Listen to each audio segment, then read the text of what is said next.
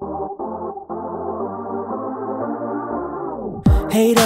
Hola chavales, ¿qué tal? Bienvenidos a InfoES. Os vengo a contar las últimas novedades de Windows 10 en su última build que ha presentado esta semana pasada. Os voy a contar más o menos las novedades que ha contado y las cosas que son nuevas y cuándo se va a presentar Windows 10 y para cuántos países y en cuántos idiomas. Bueno, la primera novedad es Continuum. Continuum, bueno, os voy a contar un poquito de qué va. Tú tienes tu smartphone con Windows 10, tu, teléfono móvil, tu Lumia y vas trabajando con tu teléfono. Pero llegas a casa y dices tú, quiero continuar trabajando esto que estoy haciendo en una pantalla de ordenador. Directamente engancharías el cable o bien con Wi-Fi y se transformaría directamente en escritorio, en pantalla.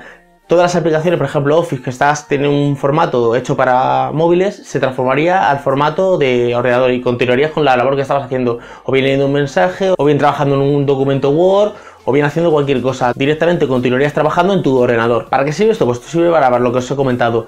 Tú estás con tu smartphone, imagínate Android o tu smartphone eh, un iPhone, y estás haciendo cualquier cosa, pero llegas a casa y tienes que continuar, tienes que volver a abrir el, correo, el Office y todo esto. Es como si, si, si, continuaras, continuaras de esta manera. O por ejemplo, estás viendo una película y quieres hacer cualquier cosa, esa película la puedes lanzar al ordenador y que tus hijos vean la película en el ordenador o en la pantalla de la televisión y tú en segundo plano podrías continuar trabajando con tu smartphone. Otra de las novedades es Spotlight. Es una pantalla de inicio, la típica pantalla de inicio que tienes en tu ordenador, pero te va lanzando notificaciones. Te gusta, por ejemplo, esto que estás viendo, le das un corazón si te gusta.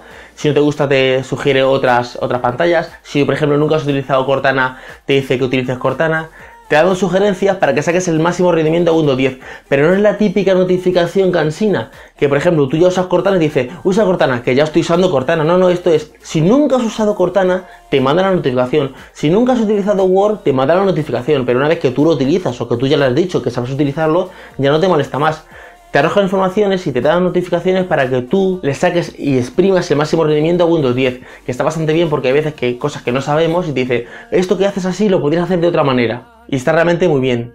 Aplicaciones. Nos quejábamos de que no es que en Windows no hay muchas aplicaciones porque las mejores están en, en iOS, las mejores están en Android. Olvidaos de esos. Código, esto es una buena noticia para los desarrolladores. Código, podemos traspasar directamente nuestro código de nuestra aplicación en iOS o en Android directamente pasarla a Windows Phone. ¿Cómo es esto? Pues muy fácil. Bueno, Windows Phone o Windows 10, muy fácil.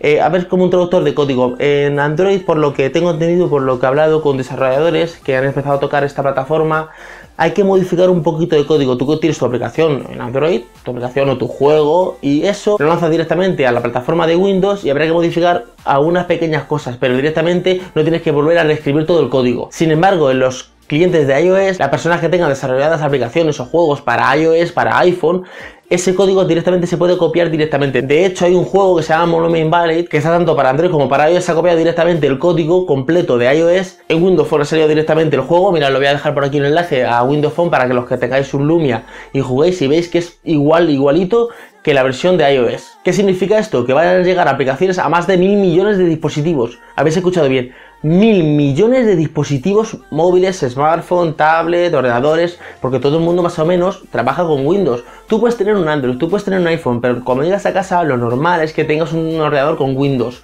Entonces, todas las aplicaciones, Twitter, WhatsApp, Facebook, todas, todas, no va a ser de la noche a la mañana, va a haber un recorrido porque los desarrolladores de iOS o de Android tienen que coger ese código y copiarlo directamente para tener su aplicación en Windows, pero ya no es, tengo que volver a hacer una aplicación para Windows, no, no, directamente. Mi aplicación que tengo en Android o mi aplicación que tengo en iPhone, cojo el código que tengo, lo traspaso directamente y ya tengo la aplicación para Windows 10, que es lo que ha pasado con la aplicación de Twitter. La aplicación de Twitter que tú ves de Windows pues no está muy bien implementada, pero si tú coges la aplicación de Twitter de Windows 10, la de Windows 10, que yo tengo Windows 10 en el ordenador, y la aplicación de Twitter es idéntica a la de iPhone. Bueno, si me diréis idéntica, idéntica, pues se parece muchísimo. Con la barra lateral, con lo de cambiar los usuarios, se parece bastante. Yo creo que han copiado directamente el código. Otra de las cosas buenas que tienes es que tú tienes tu teléfono y tú estás trabajando con cualquier cosa. Lo que hemos contado, lo que hemos contado anteriormente de Continuum. Tú llegas a casa y eh, estás ordenador, pero está que te suena el WhatsApp, que te suena el Twitter y todo eso tienes que hacerlo en tu móvil. O abrirte una pantalla con el Facebook, con el Twitter y hacerlo desde ahí. Con Windows 10 no, porque se, se, conecta directamente, o sea, tendrás como tu aplicación directamente. No es que yo abra el Explorer y abra ahí Twitter, no, no, es una aplicación de Twitter, es una aplicación de Facebook, es la aplicación directamente, es la aplicación de YouTube.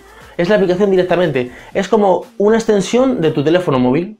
Otra novedad que ha presentado es la evolución de la Project Spartan. Project Spartan va a ser el nuevo navegador que ya no va a estar en Internet Explorer, pero se va a llamar Edge, al final se va a llamar eh, Microsoft Edge una curva. Entonces, eh, la curva quiere decir porque no tiene bordes, no tiene marcos, no tiene ningún marco. Si tú ves el, el, diseño está muy minimalista, sin ningún marco, está bastante, bastante, bastante bien. Y también se va a implementar con Cortana, o sea, tú te puedes sentar y decirle, búscame esto. Ya no vas a tener que estar tocando el teclado, tocas el teclado para escribir cualquier cosa, pero por ejemplo, ábreme YouTube, ábreme tal vídeo, ábreme Twitter, manda un mensaje de Twitter, todo eso lo podrás decir con comandos de voz, hablando, sin tener que estar escribiendo una auténtica pasada. Luego si tienes una pantalla que es táctil o tienes una Surface o tienes una tablet, podrás directamente escribir, podrás coger con un dedo, con un lapicero y remarcar páginas web, escribir y hacer notas. La verdad es que Windows 10 va a ser una pasada. De hecho, no han presentado ningún teléfono porque yo creo que van a esperar a que se lance directamente para presentar un book insignia. Y ahora me diréis, bueno Michael, pero ¿cuándo? ¿Cuándo llega?